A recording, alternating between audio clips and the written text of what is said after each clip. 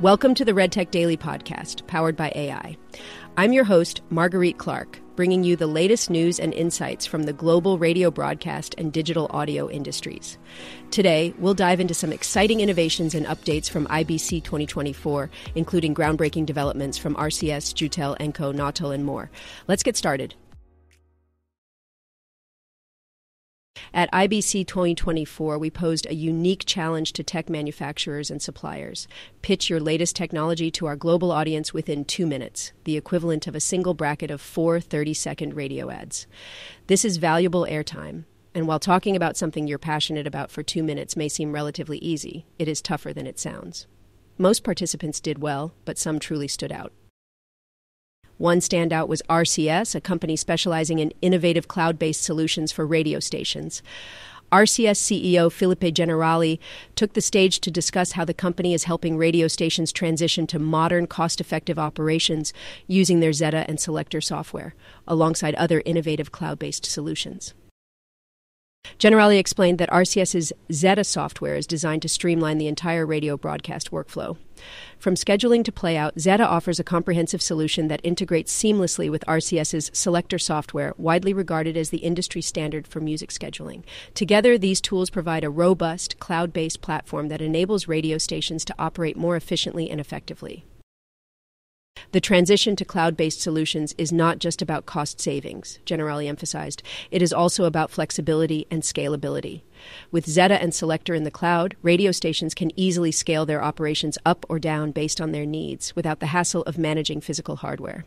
This flexibility is particularly beneficial for stations looking to expand their reach or adapt to changing market conditions quickly.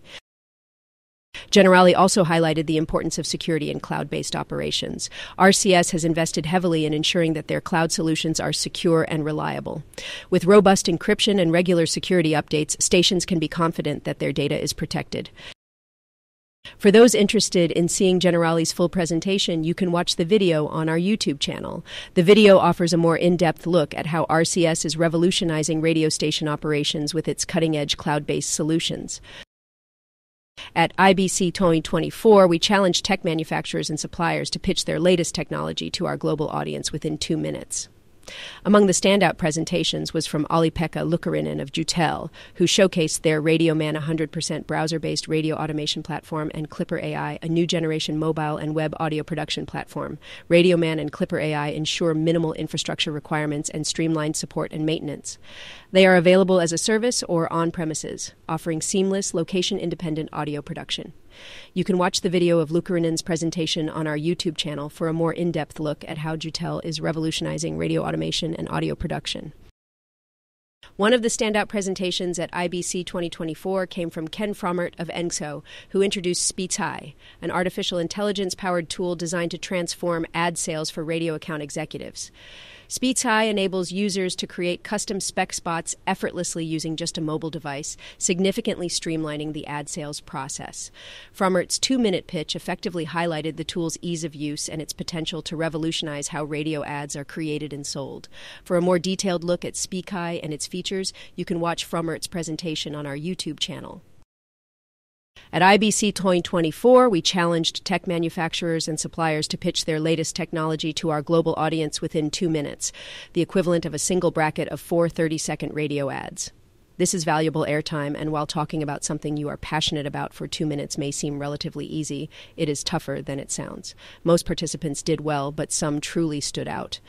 One such standout was Nautel, who discussed their innovative solutions in radio broadcast transmission. Nautel's advanced AM and FM transmitters and cutting edge technologies are designed to enhance both efficiency and revenue for broadcasters. Among the technologies highlighted were AM transmitters equipped with MDCL technology, which reduce carrier levels and boost efficiency by up to 70%. For those interested, you can watch the video of Nautel's presentation on our YouTube channel. It offers a more detailed look at how Nautel is pushing the boundaries of transmission innovation.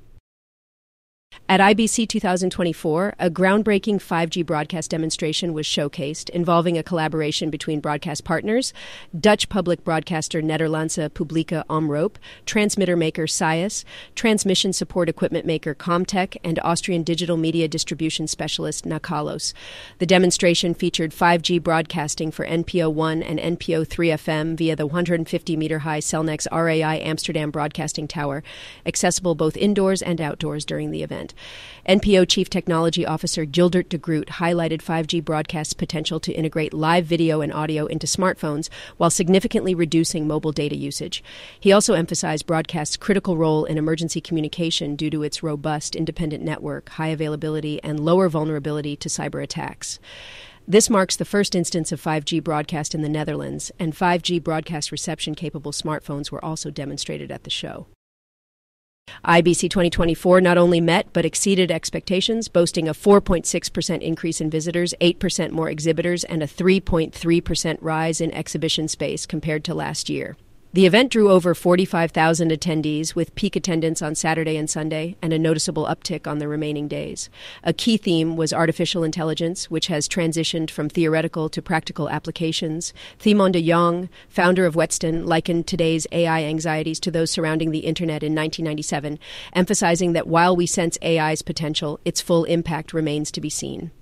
The conference also featured a fascinating experiment by RTVE Lab, which secretly included an AI composed classical piece in a public concert, revealing intriguing shifts in audience reactions.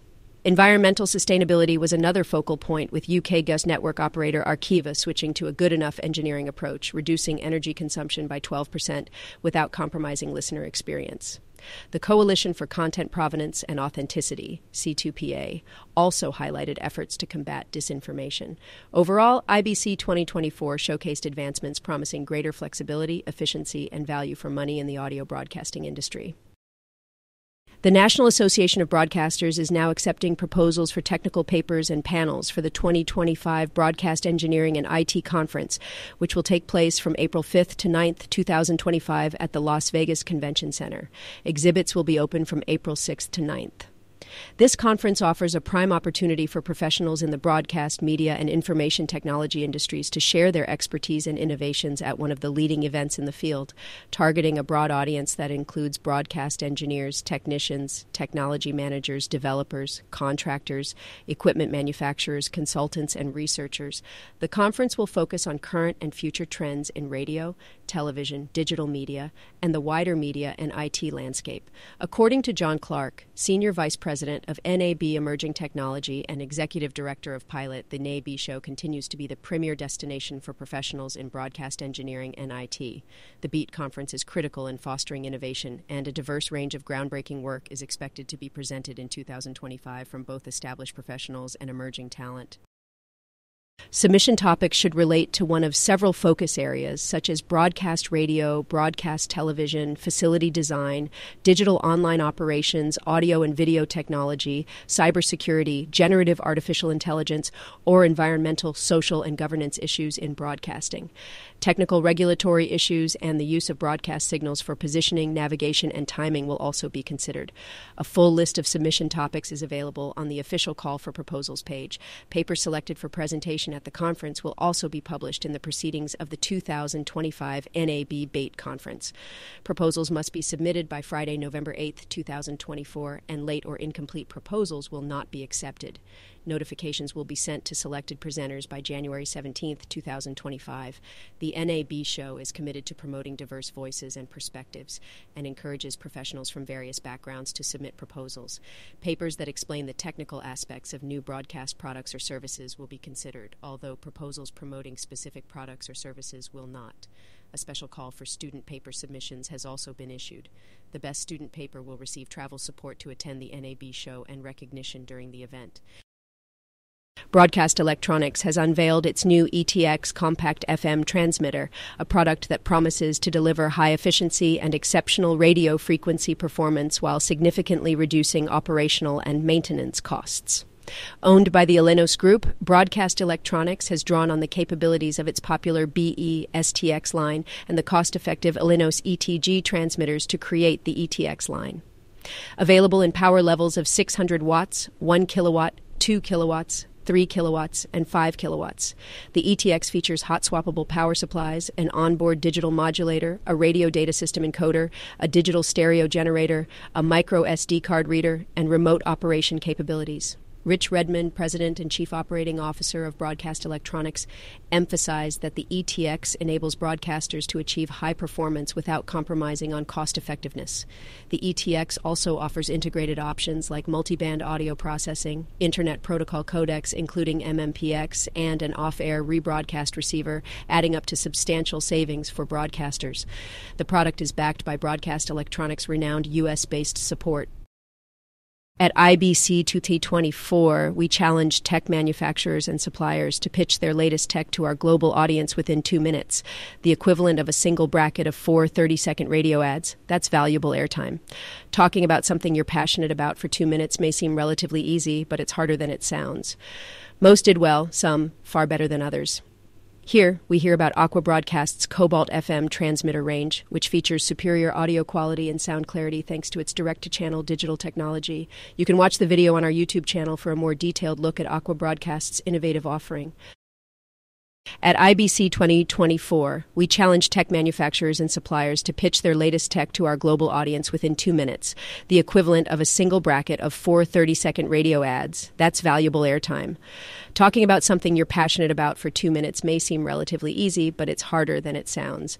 Most did well, some far better than others. Here, Lawo's Johan Bokvist showcases two innovative products for radio applications and users the new Crystal Broadcast Console and the Crystal Clear interface. The new Crystal is a highly versatile console for on air and podcast applications.